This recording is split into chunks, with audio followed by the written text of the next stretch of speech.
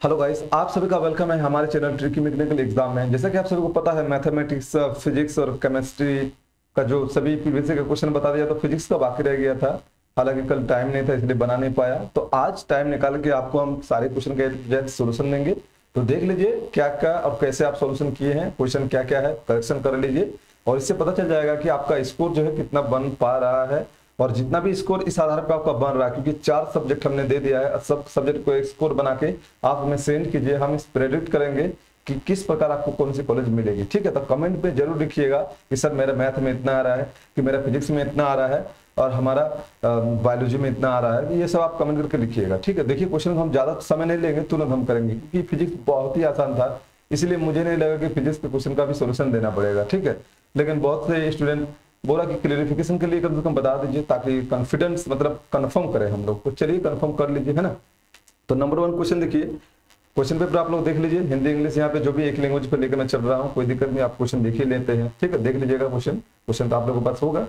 देखिए at the time of short circuiting the current in the circuit देखिए, जब short circuiting होता है तो आपको बता दू लाइव वायर जो होता है लाइव वायर और जो आपका न्यूट्रल वायर दोनों कंबाइंड हो जाता है। कंबाइंड होता है, उस करंट करंट जो है इंक्रीज हो जाता है। तो यहाँ पे जो ऑप्शन सी देख रहे हैं इंक्रीज हैविली तो ऑप्शन सी इसका सही हो जाएगा।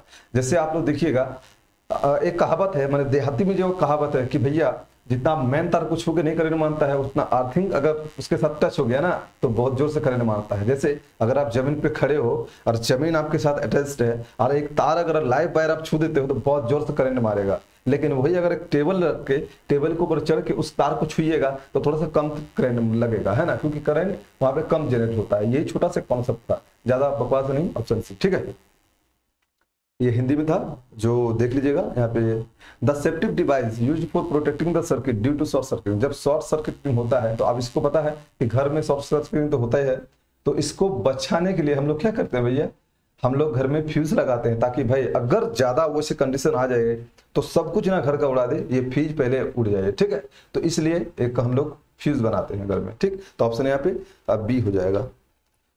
ये हिंदी में है, ठीक है? यहाँ पे बोला था current of electrical current is taken देखिए करंट जो होता है करंट करंट जो है, उसका डायरेक्शन क्या होता है? इलेक्ट्रिक करंट का डायरेक्शन तो वो opposite to the direction of flow of electrons इधर मान लीजिए करंट जा रहा है, ठीक है ना? तो उसका अपोजिट में इलेक्ट्रॉन मूव करता है, ठीक है? तो ऑप्शन सी इसका भी सही है ऑप्शन बी इसका सही है। Opposite to the direction of the flow of electrons ठीक है? ऑप्शन बी में दिया हुआ है। एक है the radius of curvature of spherical mirror is 20 centimetre its focal length देखिए, वहाँ पे 20 सेंटीमीटर दिया हुआ है, यहाँ पे क्या किया है? आपका दे दिया है मीटर में, है ना? मीटर में दे दिया, ठीक है? देखिए, कैसे होगा?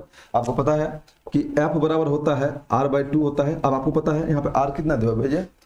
आर यहाँ पे दिया हुआ स्पेरिकल मिलर का तो रेडियस दिया हुआ बीस, और इसको दो से काटेंगे तो ये हो जाएगा दस सेंटीमीटर हो रहा हमारा, है ना? लेकिन दस सेंटीमीटर नहीं दिया हुआ है। यहाँ पे देखो ऑप्शन कहीं है, दस सेंटीमीटर नहीं है। तो क्या किया है? इसको जस्ट चेंज कर दिया है। तो हम 10 सेंटीमीटर को अगर 100 से भा, भागा देंगे तो ये मीटर में चेंज हो जाएगा। इसको काटेंगे इसको काटेंगे तो one point zero point one ये मीटर में हमारा आंसर आएगा जाएगा। ठीक है? जो देखते हैं ऑप्शन बी में आपका ये आंसर है। ठीक है? तो इस प्रकार आप आंसर को निकाल पाएँगे। नेक्स्ट क्वेश्चन देखिए।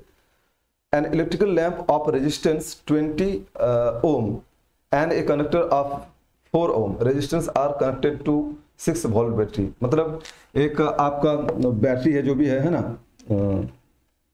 एक जो भी बैटरी है, मान लीजिए ये बैटरी है, ठीक है? यहाँ से एक सर्किट है और सर्किट जो है, यहाँ पे एक कंडक्टर ऐसा लगाया गया है और यहाँ पे एक बल्ब लगाया गया, ठीक है? यहाँ पे एक बल्ब ऐसा लगाया गया है। इसका रेजिस्टेंस दिया हुआ कितना? अब देखिए, इस प्रकार मूव हो रहा है, ठीक है ना? अब यहाँ पे रेजिस्टेंस ये चार रखा हुआ है, ये बीस रेजिस्टेंस का अब दोनों सीरीज़ में है तो क्या हो जाएगा? चौबीस में हो जाएगा। तो डायरेक्ट इसका आंसर कितना हो जाएगा? चौबीस, जो कि आपको ऑप्शन में दिया हुआ ऑप्शन सी में, है ना? चौबीस हो जाएगा। द ऐसा यूनिट ऑफ़ पोटेंशियल डिफरेंस ये तो बहुत आसान है। इसको हटाता हूँ भाई। पोटेंशियल डिफरेंस का जो है कुलम वोल्ट होता है ना? चलो हटाओ इसको हटाओ जल्दी if the length of a metallic wire is double the resistance of wire क्या होगा? तो इसका दोस्तों डायरेक्टली फोर हो जाएगा मतलब चार गुना हो जाएगा। कैसे होगा, हम थोड़ा बता दे रहे हैं आपको तो आप समझ जाइएगा। देखिए, एक फॉर्मूला होता है, क्या होता है? कि R equal to rho L है ना? ये फॉर्मूला आपका आता है रो ए बटा एल होता है ना? सॉरी आर इक्वल टू होता है आपका सॉरी रो जो होता है आपका रजिस्टिविटी जो बोलते हैं आर ए बटा एल होता है. ये आप जानते हैं, ठीक है? आर ए बटा एल होता है, इसको इधर करेंगे तो क्या हो जाएगा? एल आर नीचे मेरी आ जाएगा. तो इसके इधर करेंगे तो आपको देखिए आर निकल जाएगा, क्या हो जाएगा? रो एल बटा ए ये आपका फॉर्मूला निकल गया, यानी कि ये बेसिक फॉर्मूला आपका निकल गया, ठीक है? जो फॉर्मूला आप जानते हैं. इस फॉर्मूला के आधार पर ये क्वेश्चन बनेगा, है ना? ऐसे आप डायरेक्ट एक फॉर्मूला लगा के भी कर सकते हैं, लेकिन हम इस फॉर्मूला को आपको सेटिस्फाई कर देते देखिए, आप क्या बोल रहे हैं? लेंथ को जो है दुगुना। तो लेंथ को जो है ये टू एल हो जा रहा है। जब लेंथ दुगुना दुगुना हो जाएगा तो दोस्तों यहाँ पे कॉन्सेप्ट है, उसका जो एरिया है, वो हाफ़ हो जाता है। तो एरिया जो है, वो हाफ़ हो जाएगा, है ना इनिशियल का। तो मान लेते हैं, ये इनिशियल था, ये इनिशियल था। अब नया वाला जो बन रहा है, जब इस कंडीशन में तो क्या हो रहा है, देखिए। नया वाला जो बन रहा है, वो क्या हो रहा है? रो इंटू एल है, लेकिन दो गुना एल है तो यहाँ पे दो हो जाएगा और एरिया आधा हो रहा है, यानी वन बाई टू हो जाएगा। ये दो को ऊपर ले जाएँगे तो इसको मैं डायरेक्ट लिखता हूँ, इसको दो ऊपर हो जाएगा तो चार हो जाएगा। अब देखिए क्या होगा रो एल ए गुना चार हो गया, है ना? अब देखिए ये रो एल ये देखिए यहाँ पे भी सेम है। हम इसको इक्वेशन वन मानते हैं और इक्वेशन वन से ये वैल्यू को रखेंगे तो ये आर्क ज़ीरो हो जाएगा तो आर ज़ीरो गुना फोर हो जाएगा। तो ये जो मेरा नया वाला वैल्यू निकला ये नया वाला आर वन वो इनिशियल का कितना गुना हो जा रहा है? चार गुना। तो यहाँ पे ऑप्शन डी दिया हुआ है four times of the initial value है ना? तो इस प्रकार जो है क्वेश्चन बन जाएगा। अच्छा क्वेश्चन आपको दिख नहीं रहा ना? इधर थोड़ा साइड कर देता हूँ मैं इसको। हाँ देखिए। तो इस प्रकार जो है फोर गुना हो जाएगा। आप स्क्रीन शॉट लेके देख सकते हैं। इस प्रकार आप क्वेश्चन को सोल्व कर पाएँगे, ठीक? डाला देता हूँ क्वेश्चन थोड़ा। अब एक कैलकुलेट एक नेमरिकल नेमरिकल भी फिजिक्स का उतना नहीं हार्ड हार्ड पूछा था। एकदम ये छोटा सा कॉन्सेप्ट का था, ये कोई नेमरिकल नहीं था।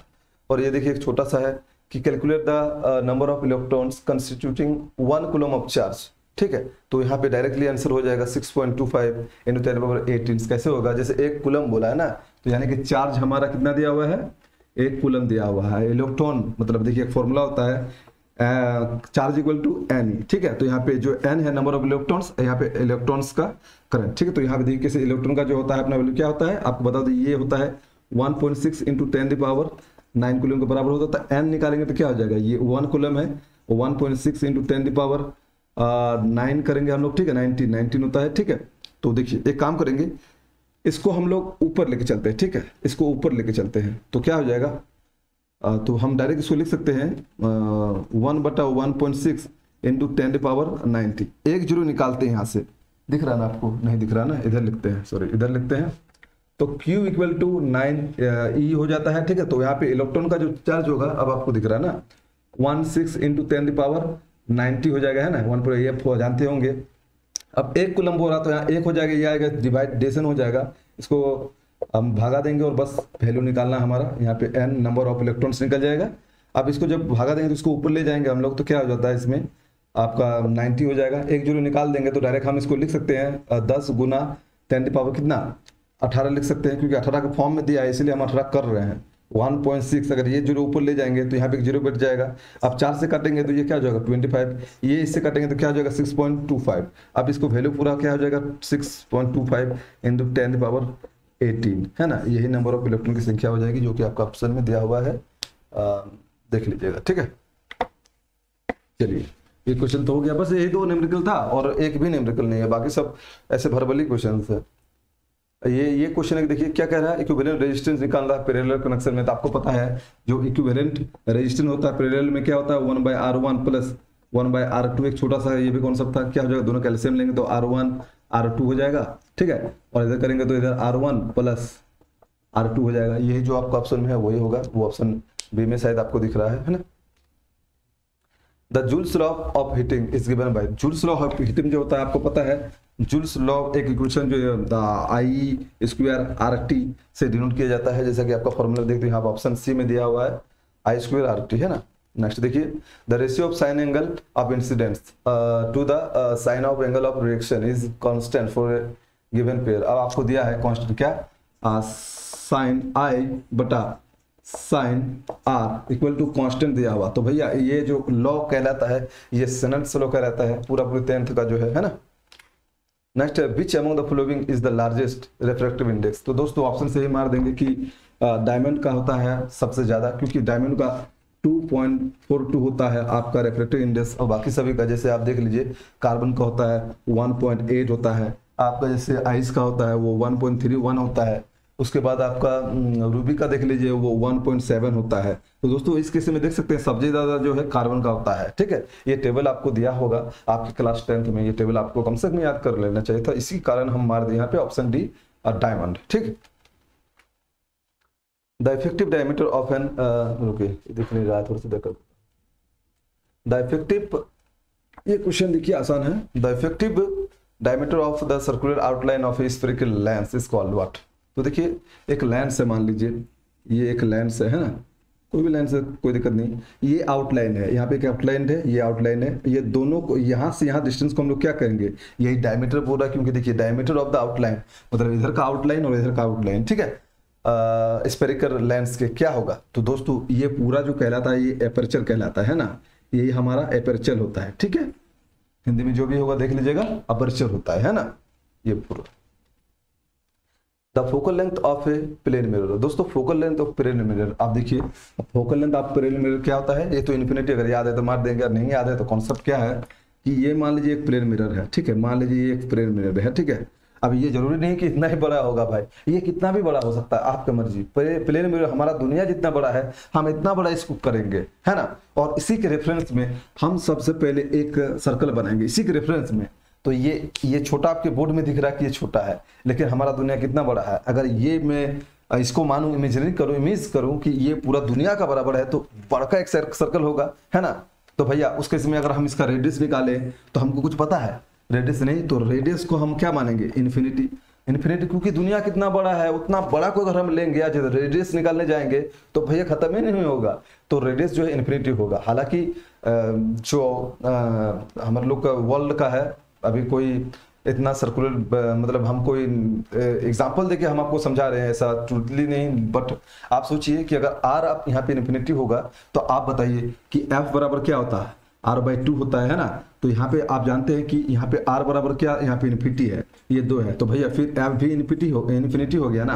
तो यहाँ पे देखिए, ये जो आर को हमने इन्फिनिटी कर दिया तो ये पूरा जो फोकल लेंथ इन्फिनिटी हो गया। इसी वे में हम निकालते हैं, ठीक है? कि पूरा हमारा इन्फिनिटी का इन्फिनिटी कैसे होता है? ठीक है? अनंत कैसे होता है? द ऐसा यूनिट ऑफ़ पावर पावर का ऐसा यूनिट क्या होता है? डायप्टर होता है, एक लाइन का आंसर था। The commercial unit of electrical energy क्या था? किलोवाट आवर ऑप्शन सी था, कोई दिक्कत नहीं, एक लाइन का आंसर था। The conductor of electrical heat devices such as bread toasters and electrical iron are made up of iron alloy rather than pure metals because alloy have lowest भी देखिए, आप इसको जैसे आयरन वगैरह आप देखते हैं, उसमें ज़्यादा हीटिंग कैपेसिटी होता है। हीटिंग कैपेसिटी को प्रोड्यूस करने के लिए हम लोग रेजिस्टिविटी को बढ़ा के रखते हैं और उसी प्रकार का मटेरियल हम लोग यूज़ करते हैं। तो एलॉय विथ हाई रजिस्टर्स क्योंकि ऐसे नॉर्मली मेटल को अगर यूज़ करेंगे आप तो उतना ज़्यादा आपको टेम्परेचर वगैरह नहीं मिलेगा। लेकिन अगर आप एलॉय बना के दो तीन को मिक्स करके अगर उसको उपयोग करेंगे तो ऑब्वियसली हो सकता है कि आपका उपयोग में थोड़ा सा हीटिंग कैपेसिटी आपको बढ़ा दे, ठीक है? तो यही ऑप्शन बी सही हो जाएगा। एलॉयस हैव हाई रेजिस्टिविटी है ना? According to Fleming's left hand rule the four finger four finger मतलब ये फोर फिंगर इंडिकेट्स क्या करता है? तो ये तीन, तीनों हाथों को इस प्रकार रखेंगे, जो लेफ़्ट हैंड थ्योरम होता है, कि तीनों जो है म्यूचुअली परपेंडिकुलर हो, तीनों एक्सिस के, ठीक है? और एक्सिस के तो मैं सबसे पहले एक ट्री बताता हूँ, ये शायद दिख नहीं रहा, ना, इधर आता हूँ, ठीक है? अब आपको दिखेगा, देखिए, ये परपेंडिकुलर म्यूचुअल जो है परपेंडिकुलर रखा हूँ मैं अब देखिए, मैं आपको ट्रिक बताता हूँ, आप कभी नहीं भूलेंगे। जो लेफ़्ट हैंड राइट हैंड दोनों में यूज़ होता है, ये है फादर ये है फादर तो भैया, घर में अगर फादर है तो मदर भी होगा। ये फादर है, ये मदर है, ये क्या है? चाइल्ड है। ये फादर है, ये मदर है चाइल्ड है। ये फादर उसके बाद मदर घर का गार्जियन फादर होता है, इसलिए फादर फिर मदर फिर चाइल्ड होता है, ठीक है ना? तो देखिए फादर फोर ये ऊपर वाला जो अंगूठा दिखा रहा है, ये आपको फोर्स दिखाएगा। फादर से फोर्स दिखाएगा। और मदर से क्या दिखाएगा? मैग्नेटिक फ़ील्ड क्योंकि ये फोर फिंगर है मदर से आपका दिखाएगा मैग्नेटिक फ़ील्ड और ये आपका क्या है चाइल्ड है। चाइल्ड से आपका करंट दिखाएगा। तो फादर से फोर्स और आपका मदर से मैग्नेटिक फ़ील्ड और आपका ये देखिए, वो फिर नहीं दिख रहा ना। इधर दिखना पड़ेगा आपको। फिर से दिखा देता हूँ आपको। ये इससे फादर इससे मदर और इससे आपका चाइल्ड तो यहाँ मदर है तो मैग्नेटिक फ़ील्ड यानी फोर फिंगर तो आप देख सकते हैं यहाँ पे ऑप्शन बी क्या बोल रहा फोर फिंगर क्या देंगे? तो ऑप्शन बी सही हो जाएगा मैग्नेटिक फ़ील्ड ठीक है? तो तीनों अंगुली ऐसे होता है। अब देखिए next question the device that can detect the presence of current is called galvanometer जो होता है, वो मतलब किसी डिवाइस में करंट फ्लो हो रहा है या नहीं, उसका पता लगाने के लिए उपयोग किया जाता है, ठीक है? Next the phenomena of E M F I मतलब इलेक्ट्रोमैग्नेटिक इंडक्शन देखिए इलेक्ट्रोमैग्नेटिक इंडक्शन का जो उपयोग क्यों करते हैं? ताकि फ्लक्स के चेंजिंग के कारण वहाँ पे करंट प्रोड्यूस हो जाए। इसीलिए, जैसे कि आप जनरेटर मोटर्स वगैरह में देखे होंगे। अगर आप क्लास टेंथ में पढ़े हो तो यहाँ पे ऑप्शन सी यहाँ पे देख सकते हैं। Producing induced current in a coil due to relative motion between the magnetic and coils magnet और कॉयल के रिलेटिव मोशन के कारण वहाँ पे जो है करंट जनरेट हो जाता है। इसीलिए इसी का मेन फेरोमिना को हम लोग इलेक्ट्रोमोटिव जो इंडक्शन है, इसी को कहते हैं। ठीक है? तो ऑप्शन इसका क्या हो जाएगा? सी हो जाएगा। रेटिना ऑफ़ आई इज़ क्या होता है? रेटिना जो होता है आपका आई का वो सेंसिटिव ऑर्गन होता है मतलब सेंसिटिव स्क्रीन होता है, जो आपको तुरंत देख लेता है, कोई चीज़ को अगर आप देख रहे हैं, तुरंत देख लेंगे। तो ऑप्शन ए सही हो जाएगा sensitive human eye can focus object at different distances by adjusting the focal length of the eye lens this is due to what तो दोस्तों इसका सही आंसर अकोमोडेशन हो जाएगा। अकोमोडेशन एक ऐसा प्रोसेस है, अगर कोई दूर की, कोई सामने की वस्तु है, अगर आप केंद्रित करके देखेंगे तो आप उसकी साइज़ को जो है आँखों का एडजस्ट करके देखेंगे। जैसे मान लीजिए दूर चंदा को आप देख रहे हैं तो पूरा एकदम ध्यान लगा के देखिएगा। तो मतलब एकोमोडेशन आप कर रहे हैं, अपना साइज़ लेंस को उसके अनुसार बैठा रहे हैं, यानी कि ज़्यादा कम कर रहे हैं उसके साइज़ को। तो ये एकोमोडेशन कहलाता है, ठीक है? Twinkling of star. Twinkling of star जो होता है वो अपवर्तन के कारण होता है। यहाँ पे एटमोस्फेरिक रिफ्लेक्शन दिया हुआ है इंग्लिश में। आप यहाँ पे ए लगा देंगे एटमोस्फेरिक रिफ्लेक्शन जो लगाए हैं, अच्छी बात है, उनका सही है, ठीक? Next question the scattering of light by colloidal particles देखिए, मैं आपको बताता हूँ। थोड़ा मिटाई देता हूँ इसको। देखिए, ये कोई बिकर है, मान लीजिए, है ना, हमारा। यहाँ पे छोटे छोटे पार्टिकल्स है कोलाइडल ये छोटे छोटे मान लीजिए कोलाइडल पार्टिकल्स है। इसमें छोटे छोटे कोलाइडल पार्टिकल है, ठीक है? ये कोलाइडल पार्टिकल्स है, ठीक है? जब इस पे, देखिए, ये जब इस पे लाइट पड़ता है, मान लीजिए, इसमें लाइट पड़ा, आपका लाइट ले तो ये क्या है? ये डिफरेंट कलर्स में जो है डिफरेंट कलर में ये डाइवर्ट्स हो जाते हैं। डिफरेंट कलर में ये डिफ्रैक्ट हो जाते हैं। अलग अलग कलर में इसी प्रोसेस को हम लोग टिंडल प्रभाव कहते हैं, यानी टिंडल इफ़ेक्ट कहते हैं। तो दोस्तों, इसका सही आंसर जो होगा टिंडल इफ़ेक्ट जैसे लाइट इसमें पड़ा लाइट ये इधर अलग अलग कलर में इसको विक्षेपित कर दिया। तो ये बोला था scattering of light by colloidal particle is Tyndall effect ठीक? ये क्वेश्चन देखिए, दिख नहीं रहा था, ऊपर कर देते वन कुलम फिर से वही वाला क्वेश्चन पूछ लिया। वन कुलम है ना, आसान वाला क्वेश्चन ठीक?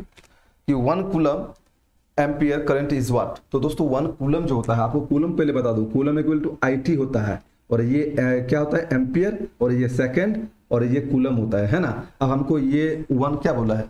एम्पियर बोला है तो इसको इधर लिखेंगे तो कूलम बटा सेकंड हो जाएगा। अब जो आंसर में वही मार देंगे। तो ऑप्शन डी में देखिए one coulomb by one second तो ऑप्शन डी इसका सही हो जाएगा।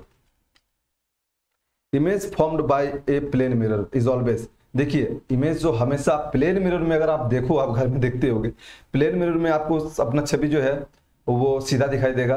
जितना दूर में वस्तु उतना दूर में दिखाई देगा, है ना?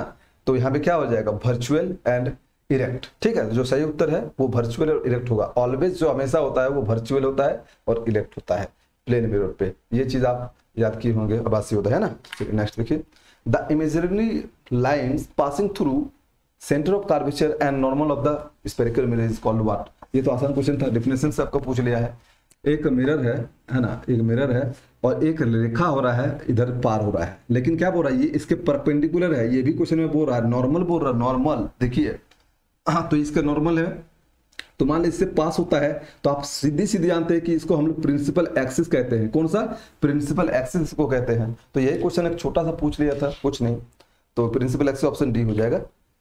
A ray of uh, parallel to the principal axis after reflection will pass through. अरे फोकस से पास होगा। वही वाला क्वेश्चन है। यही वाला क्वेश्चन को घुमा दिया। ये इतना है। अब यहाँ पे पेरिरल रे वहाँ पे जा रहा। है ठीक है। आप पता है यहाँ पे पेरिरल रे से जा रहा। है ठीक है। और यहाँ पे जा रहा। है तो ये फोकस है। तो सभी बिंदु जो फोकस में आके कट जाएगा है ना? तो फोकस में आके सब मिल जाएगा। ठीक है? तो यही ऑप्शन जो हो जाएगा आपका सही। क्या? फोकस में मिल जाएगा। ऑप्शन ए सही हो जाएगा। The size of image formed by a convex mirror when object is always placed at infinities क्या हो जाएगा? भैया पॉइंट साइज़ का होगा। क्यों पॉइंट का ऑप्शन सी हो जाएगा पॉइंट साइज़ का। क्योंकि उत्तल दर्पण जो होता है, उत्तल दर्पण बोला है ना? हाँ उत्तल दर्पण जो है मतलब कॉन्वेक्स मिरर जो होता है, उसमें जो है ऑब्जेक्ट आप जहीं भी रखो, वो जो है राइट साइड बनेगा, यानी अपोजिट साइड बनेगा, है ना? पर्दे के पीछे बनेगा, बोल मिरर के पीछे बनेगा, और वो क्या बनाता है? एक पॉइंट साइज़ का बनाता है। फोकस में मिलकर एक पॉइंट साइज़ का बनाता है। ठीक है? ये पॉइंट था, याद करने वाला सी ऑप्शन सही है इसका। The type of mirror use for dentist to see larger images देखिए डेंटिस्ट जो उपयोग करते हैं, वो अब्दल दर्पण का उपयोग करते हैं। कौन? कैब मिरर्स का। जैसे कि कॉन्वेक्स का यूज़ करते हैं, गाड़ी साइड मिरर में, है ना? लेकिन कॉन्केप का हेडलाइट्स में और आपका जाके डेंटिस्ट और बहुत चीज़ों में से यूज़ होता है ना? तो इसका जो ऑप्शन ए हो जाएगा, जो लगाए हैं, बिल्कुल सही है। तो इस प्रकार हमारा क्वेश्चन खत्म होता है। जिसको भी अच्छा लगा वीडियो को लाइक सब्सक्राइब शेयर करिए और अपना आंसर जल्द से जल्द हमें अपने कमेंट के माध्यम से लिखिए कि आपने कितना ऑप्टेन किया। क्योंकि चारों सब्जेक्ट का मैंने यहाँ पे क्लियरिफिकेशन आपको दे दिया है। नहीं देखे तो वीडियो इस वीडियो के डिस्क्रिप्शन में आपको मिल जाएगा, जाके देख लीजिएगा। चलिए मिलते हैं thank you very much for watching this video